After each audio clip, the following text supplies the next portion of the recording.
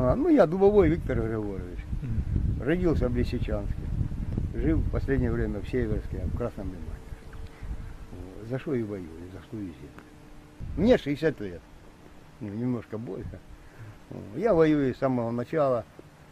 Еще до того, до войны я уже занимался. И блокпосты строили, еще с палками бегали. Ну, а теперь я воюю уже и до победы. Возврата нет. А как вы получили свой первый боевой опыт?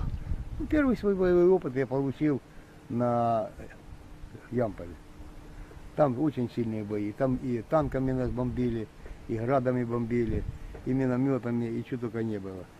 Вот. Ну и слава богу, сначала побаивался немножко, а потом привык уже. Так, слышь, куда он летит, уже не прячешься. А когда уже близко, да, тогда прыгнулся, там окоп засел еще. А так, воюем. По мере возможности. Бояться нечего бояться. Двух смертей не бывать, а одной не миновать. А когда, если судьба, значит судьба. А нет, значит, дойдем до победы. Но только до победы.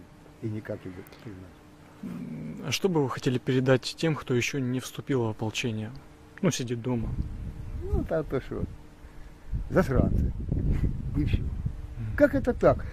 Уехать и из дому, бросить свой дом, что ты думаешь, что не вернешься никогда. Все равно мы им победим. Тут в этом я не сомневаюсь, ни на столечко не сомневаюсь. А как же ты потом приедешь и будешь смотреть глаза ребятам, тем, которые воевали, и сказали, что ж ты уехал, а мы воевали за тебя.